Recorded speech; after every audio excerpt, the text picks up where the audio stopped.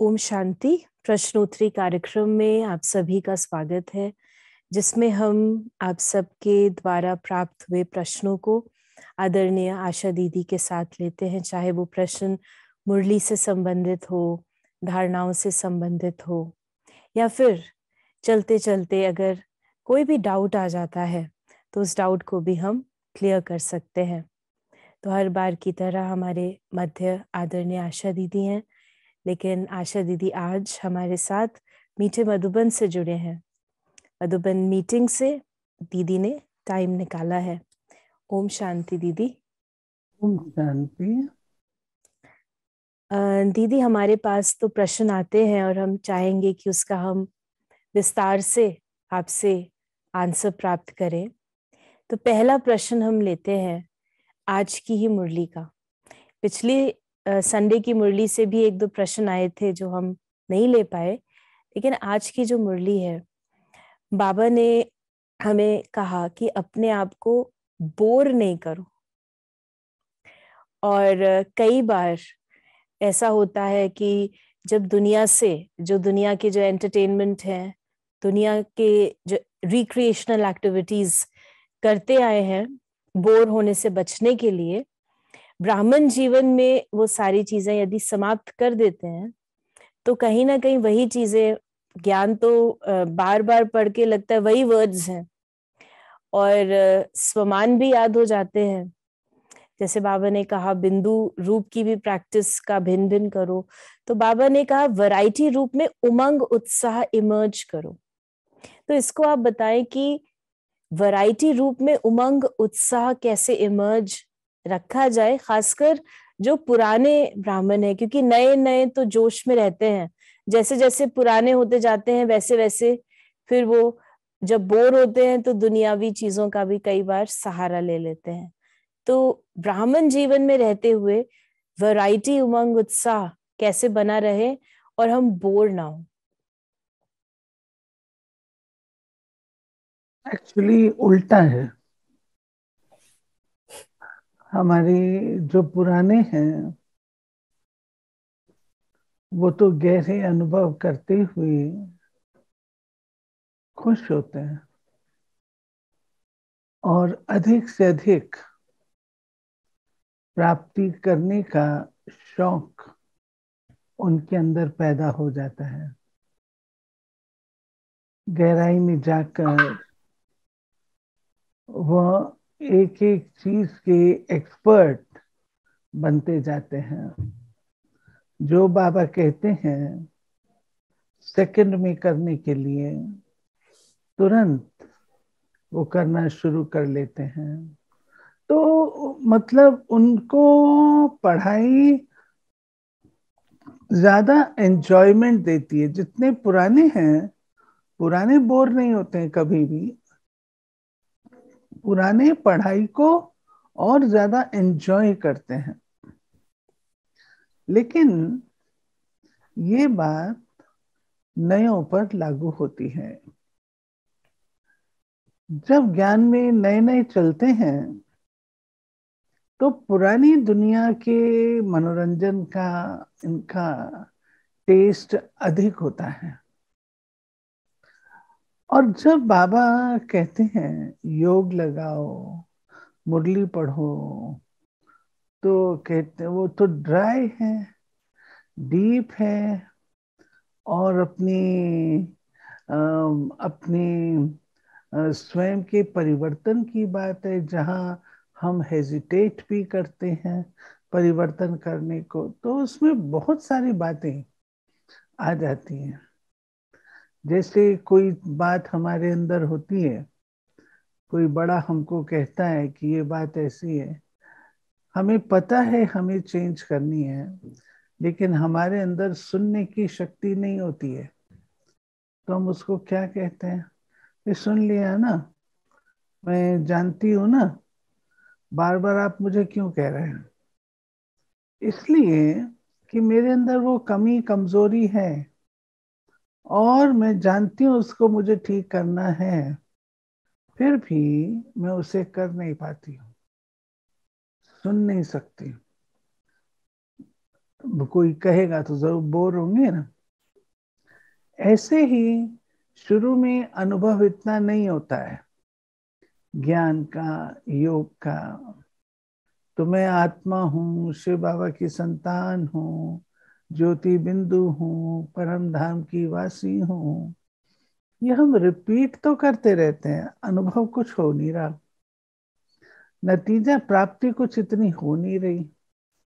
तो नतीजा ये होता है कि व्यक्ति अपने आप को थोड़ा सा उचाट समझना शुरू करता है बोर फील करता है।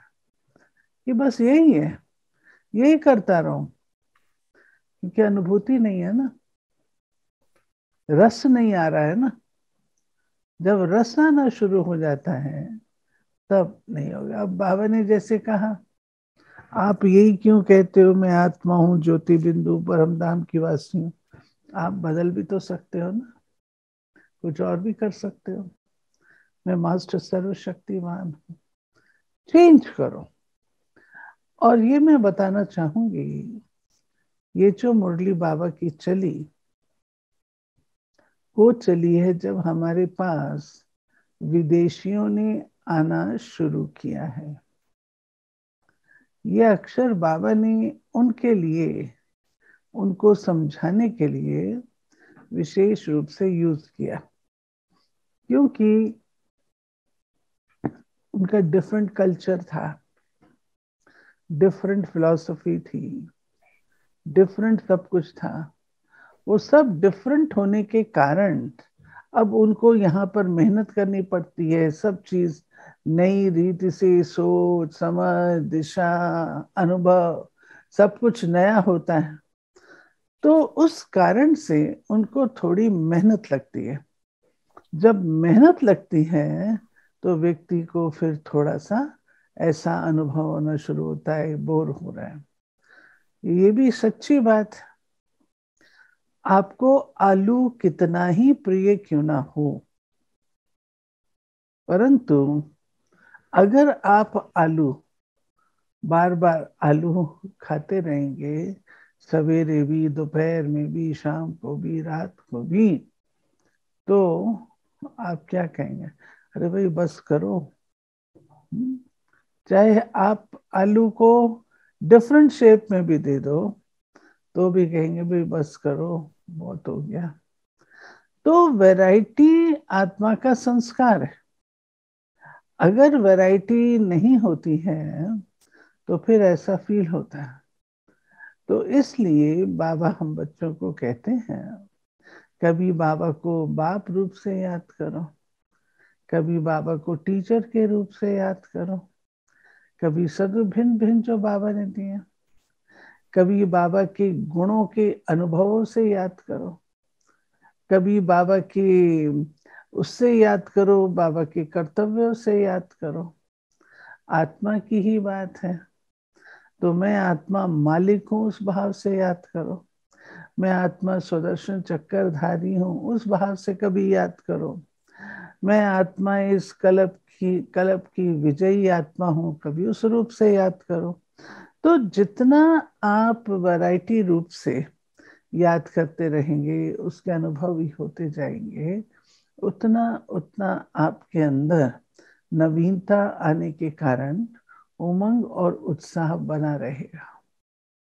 अब ये उमंग और उत्साह, इसका साधन है नवीनता। कुछ ना कुछ नवीनता करते रहिए। अगर नवीनता नहीं होगी आपके कारोबार में तो आपको थोड़ा सा भारीपन आएगा। नवीनता हर एक को चाहिए हर एक को चाहिए। और वो नवीनता हमारी इस प्रकार से पैदा हो सकती है। तो ये सब कुछ तो हमारे अपने ही हाथ में है। किसी और के हाथ में थोड़ी है। तो हम्म। नवीनता को भी लाना और अगर मैं आप लोगों को छोटी सी राय दूँ तो नवीनता अगर किसी को भी चाहिए ना तो मुरली जो रोज की है बाबा की बाबा की मुरली को सुनते हुए ये लक्ष्य रखो कि आज की मुरली से मैंने कुछ नई चीज़ निकालनी है। जैसे जवाहरी होता है। तो वो वैसे ही हीरे मोती चुन लेता है जैसे उसको चाहिए।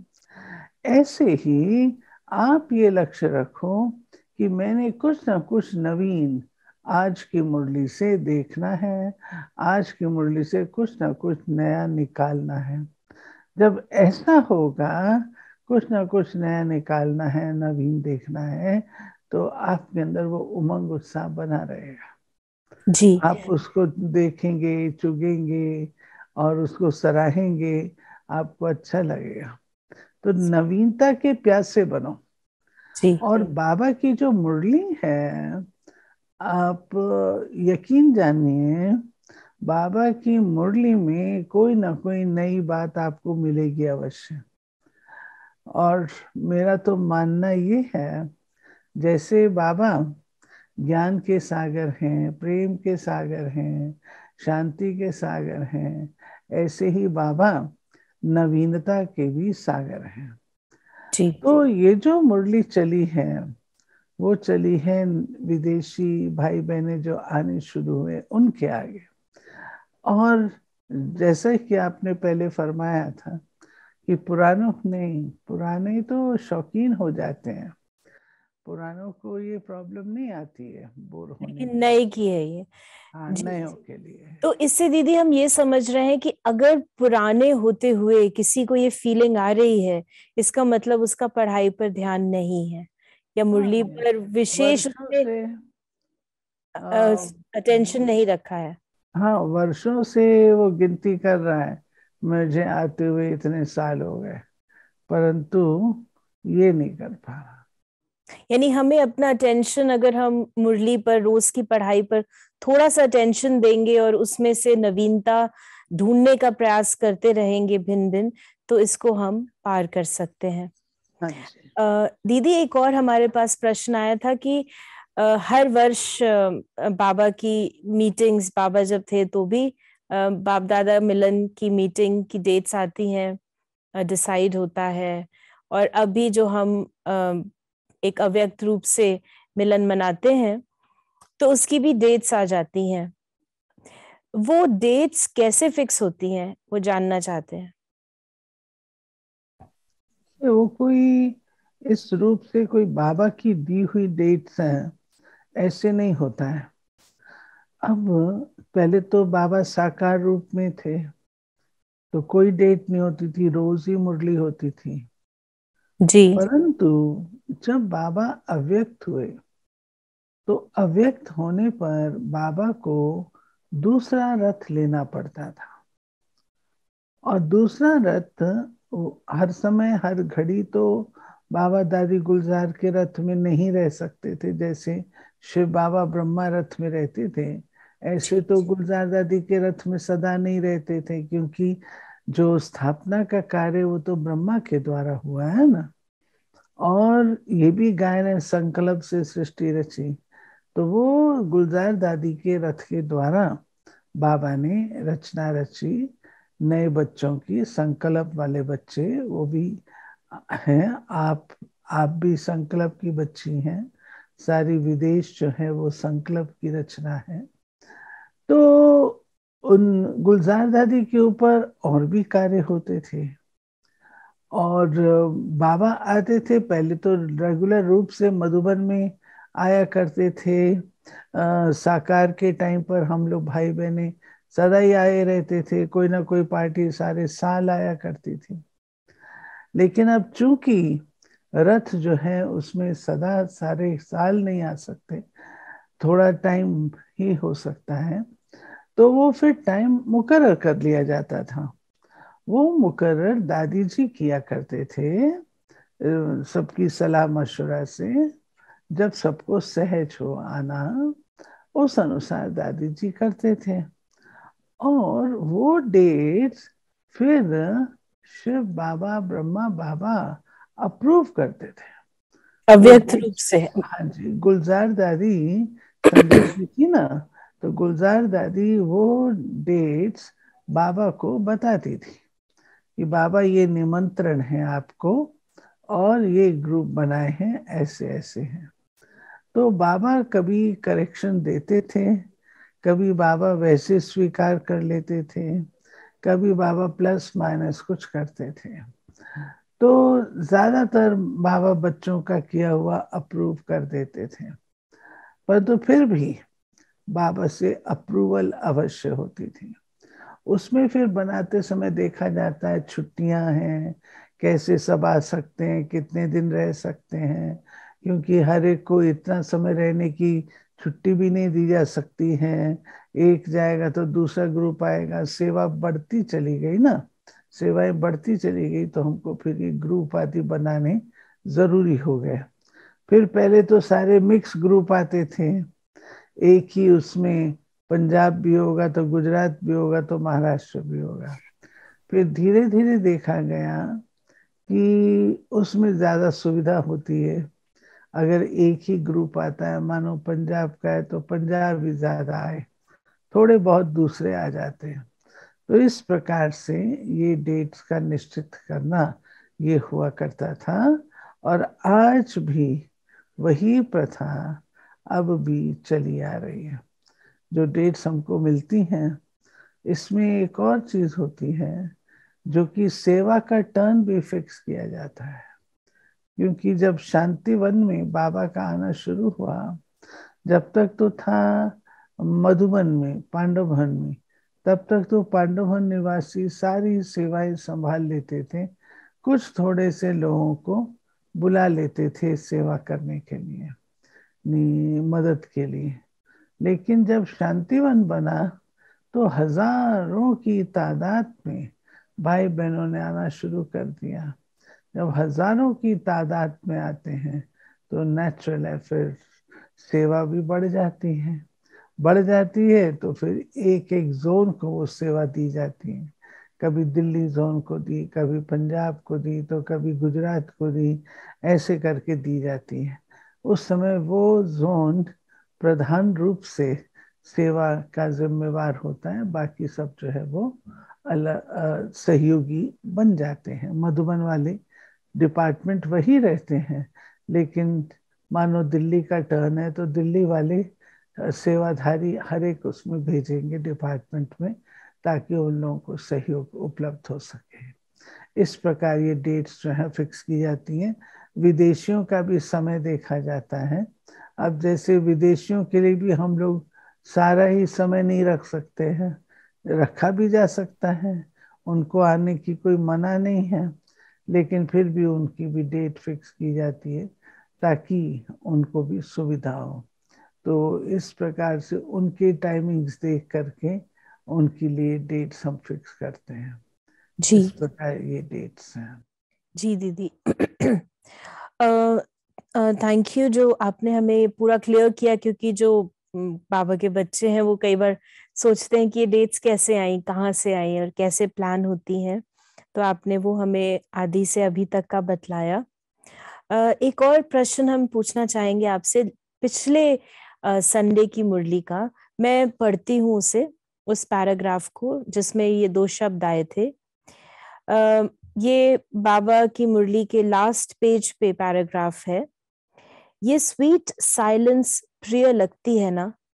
क्योंकि आत्मा का ओरिजिनल स्वरूप ही स्वीट साइलेंस है। तो जिस समय चाहो उस समय इस स्वीट साइलेंस की स्थिति का अनुभव कर सकते हो। क्योंकि आत्मा अभी इन बंधनों से मुक्त हो गई। इसलिए जब चाहे तब अपने ओरिजिनल स्थिति में स्थित हो जाए। तो बंधन मुक्त हो गए या होना है। इस बार मधुबन में दो शब्द छोड़कर जाना समथिंग और समटाइम तो प्रश्न ये है कि समथिंग और समटाइम से क्या भावार्थ है, जो बाबा ने डबल विदेशियों से और बच्चों से मिलते हुए, जो कहा मधुबन में जाना तो ये दो शब्द समथिंग और सम समटाइम को छोड़कर जाना। ये बाबा जो, हम लोगों को परिचय दे रहे हैं कि जो विदेशी भाई बहने हैं, उनकी परवरिश में शुरू में काफ़ी मेहनत लगी थी, क्योंकि डिफरेंट कल्चर से उनको सेट करना था। और विदेशी जो होते हैं, वे बहुत स्ट्रेट फॉरवर्ड होते हैं, दिल के साफ़ होते हैं, जो उनको कहना है उन कह देना है। तो भारत वालों से अगर कहेंगे तो कहें हाँ ठीक है थोड़ा सा ऐसा है। वो ऐसे नहीं बोलते हैं। वो कहेंगे कि हाँ देर इज़ समथिंग मतलब मैं किस बात से अगर संतुष्ट नहीं हूँ तो स्पष्ट रूप से बोल दूँगी देर इज़ समथिंग इसमें uh, मैं राज़ी नहीं हूँ। Something is there I can not accept it मैं इसको स्वीकार नहीं कर सकती हूँ। कुछ तो इसमें है। ऐसे ही सम बाबा पूछेगा, सदा संतुष्ट रहते हो? तो कहेंगे हाँ जी। कभी डिस्टर्ब तो नहीं होते हो? सम टाइम कभी कभी होते हैं। तो समथिंग और सम टाइम इस भाव से कहा गया। ये कभी कभी डिस्टर्ब हो जाते हैं। और कोई कोई बात हमको डिस्टर्ब करती है वो हो गई समथिंग और कभी कभी डिस्टर्ब हो जाते हैं वो हो गया सम टाइम ओके हम्म, हम्म, हम्म। यानी जो बाबा ने कहा कि ये दो शब्द छोड़कर जाओ इसका मतलब है कि अपने अंदर से जो डिस्टरबेंस की छोटी छोटी बातें हैं अगर हम इसे दूसरे शब्द में कहें तो क्या जो बाबा हमें बार बार मुरली में कहते हैं सदा उसका जो ऑपोजिट होगा क्या वो सदा होगा? कैसे? जैसे आप समथिंग और सम टाइम नहीं है तो फिर सदा होना चाहिए। हाँ सदा होना चाहिए। बाबा कहते निरंतर सदा सदा रहना चाहिए। हम कभी कभार क्यों? वो ब्रेक्स नहीं होने चाहिए। हम्म, हम्म, हम्म। निरंतर होना चाहिए। यानी अंदर कोई भी छोटी छोटी चीज़ें यानी समथिंग जो मुझे डिस्टर्ब कर रही है कोई बात है वो शब्द छूट जाए। और समटाइम्स जो हम अपसेट होते हैं डिस्टर्ब होते हैं या sometimes maya comes that both these things हाँ। Both the things should be dropped from the dictionary तो ये आपने क्लियर uh, कर दिया। uh, दीदी uh, एक और हमारे पास प्रश्न है। बाबा ने मुरली में कहा था कि अगर थोड़ी सी भी विस्मृति है तो व्यर्थ है। और आज की मुरली में भी बाबा, ये लास्ट संडे की मुरली में बाबा ने कहा था और आज की मुरली भी बाबा ने हमें ये बताया है कि स्मृति से ही समर्थी आती है। तो इसको अगर आप संक्षिप्त में, क्योंकि समय तो हमारा आगे बढ़ रहा है, लेकिन संक्षिप्त में अगर आप इसको भी स्पष्ट करें। स्मृति से समर्थी देखिए, कोई भी बात की आपको याद दिलाई जाती है तो उससे आपको शक्ति आ जाती है। मान लीजिए, आपको कोई बात अभी डिफ़िकल्ट लग रही है, समझ लीजिए तो आप कहते हो, ये मैं नहीं कर सकती, मेरे में ताकत नहीं है। लेकिन आपको अगर कोई याद दिलाए हुसैन बहन, आपने ये पहले भी किया है। याद है आपको आपने किया था? जब आपको याद कराया जाता है तो आपके अंदर समर्थी आती है। अच्छा ये तो मैंने पहले भी किया था तो अभी करने में मुझे क्या हर्चा है? तो स्मृति आई और आपको समर्थी आ गई, शक्ति आ गई। ऐसे ही हमको बाबा स्मृति दिलाते हैं। बच्चे तुम कौन हो? और तुम कैसे हो? जब स्मृति आई कि तुम वही राजाए थे, तुम वही थे कल पहले वाले, तुमने एक बार नहीं, बारंबार विजय प्राप्त की है, कल्प कल्प विजय प्राप्त की है। ये छोटी सी बात क्या है? जब आपको वो स्मृति दिलाई जाती है तो उससे आपके अंदर कार्य करने की शक्ति स्वतः भर जाती है समर्थी आ जाती है। क्लियर हुई बात? जैसे हम लोग मिसाल देते हैं कोई अगर पड़ा हुआ है लकड़ी का लॉग पड़ा हुआ है आप कहते हैं उठाने के लिए कोई नहीं उठा पाता। परंतु कोई राजपूत आता है आप उसको अरे तू राजपूत तो ये नहीं उठा सकता। तो जैसे आप उसको ये कहते हैं कि तू राजपूत तो ये नहीं तो एकदम ऐसे उठा लेता है, जैसे फूल उठा लेता है। अरे, तेरे पूर्वज तेरे पूर्वज ऐसे थे, और तुम ऐसा नहीं कर सकता। वो कर लेता है। तो ऐसे बाबा कहते हैं, अपनी स्मृति को ऊँचा रखो। जितना अपनी स्मृति को हम ऊँचा रखेंगे, उतनी समर्थी हमारी लाइफ में आती जाएगी। ठीक है? जी। ऊँची स्मृतियाँ रखिए। अपनी हमें सच में अपनी स्मृति को बहुत शुद्ध बहुत ही पावन बहुत ही ऊँची क्वालिटी का रखना है। कभी हमारी स्मृति इतनी लो उसकी होती है जो हमारी सेल्फ एस्टीम वगैरह सब खत्म हम उसको उठा करके फेंक देते किनारे। बाबा ने कितने ऊँचे स्वमान दिए हैं। कितना ऊँचा हमको बनाया है। अगर हम उन स्मृतियों में रहें तो हम तो सदा नाचते रहे उड़ते रहे। जी। हम्म। दीदी एक और हम छोटा सा प्रश्न लेते हैं और उसके बाद फिर से हम क्लोज करेंगे कि बाबा ने कहा है कि फरिश्ता स्वरूप की प्रैक्टिस करो अपने फरिश्ते स्वरूप को देखो। तो ये प्रश्न है कि फरिश्ते स्वरूप के लिए कहते हैं तो उसमें फरिश्ता स्वरूप तो देख लेते हैं। लेकिन जो फेस होता है, वो क्लियर नहीं होता है। यानी अपना जो लाइट का शरीर देखो, जो प्रैक्टिस करते हैं तो शरीर तो दिख जाता है प्रकाश का, लेकिन चेहरे को तो नहीं हमारा दिखता प्रकाश जैसा। तो क्या ये विधि है? किस प्रकार से इसको आप करेक्ट करेंगे? आपको जो फरिश्ता स्वरूप है, वो कोई, वो हमारी फाइनल स्टेज है जो हमको सूक्ष्म वतन में बाबा ने दिखाए तुम्हारा जो फाइनल रूप है, फरिश्ता लाइट की लाइट का शरीर है, फरिश्ता सो वो तो वो बात ठीक है। परंतु उसके साथ साथ बाबा ये कहता है कि उसका आवाहन करो। अब मुझे लाइट के शरीर का आवाहन नहीं करना है वास्तव में। मुझे वो गुण जो फरिश्ते के हैं, मुझे उसका आवाहन करना है।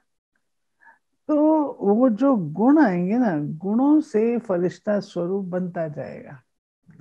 वो गुण का मुझे आवाहन करना है, गुणों की धारणा करनी है। अब हम देखते हैं हमारी दादी थी, गुलजार दादी। एकदम शांत स्वरूप, शांत बैठी रहती थी। अंदर अंदर क्या करती थी? ऐसे थोड़ी डल होके बैठती थी।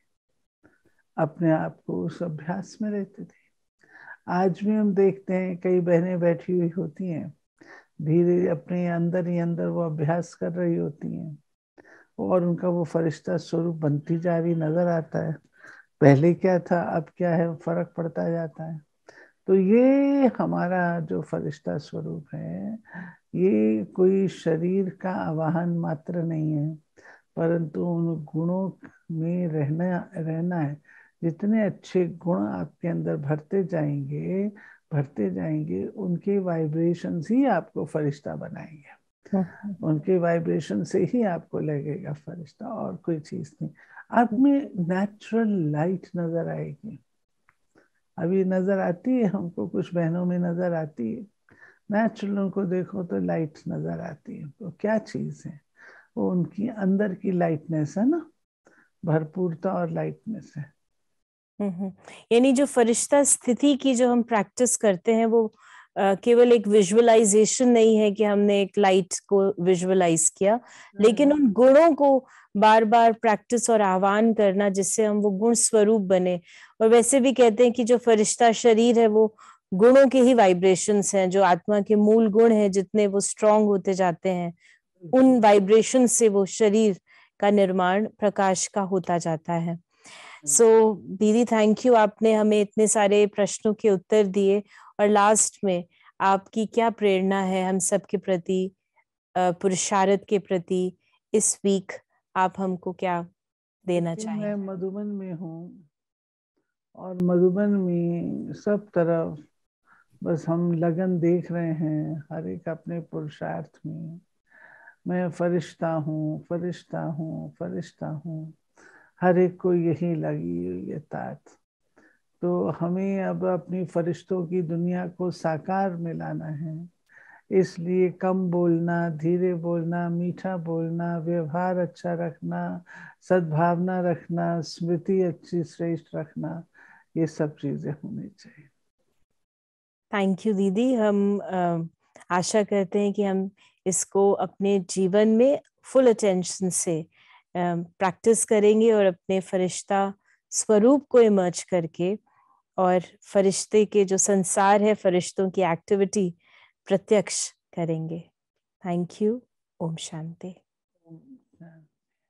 अगर आपके मन में जो भी हमारे व्यूअर्स हैं, कोई भी सवाल आता है तो आप उसे मैसेज करें या व्हाट्सएप मैसेज करें double eight two six five double nine three zero nine पर और अगले हफ़्ते हम उन प्रश्नों का उत्तर लेने का प्रयास अवश्य करेंगे।